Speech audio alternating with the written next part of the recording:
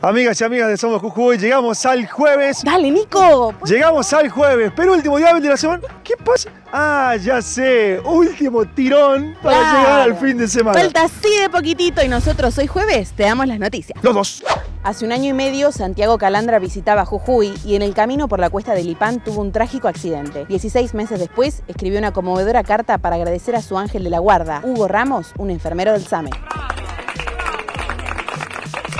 Escucha, mamita. En Brasil, un pichicho fue velado tras su muerte dentro de un ataúd y las imágenes se hicieron virales. Están quienes opinaron que es una muestra de respeto y amor por parte del dueño y quienes plantean que actualmente respetan más a los perros que a los niños. ¿Vos qué opinás? A despreocuparse, la UTA descartó medidas de fuerza a pesar de que aún no cobraron todos los choferes. Desde el gremio garantizaron el servicio y recordaron que solo tres empresas cumplieron hasta ahora con el compromiso de los sueldos. Se viene el colectivo, dale, Dergo, vamos, vamos, vamos. Con una gran cartelera de artistas, el sábado 14 de septiembre en el Polideportivo de Yala, desde las 21 se viene la cuarta edición del Festival Provincial de la Cabeza Guateada. Si tenés ganas de ir, participá en el sorteo por cuatro pares de entradas en nuestro Facebook.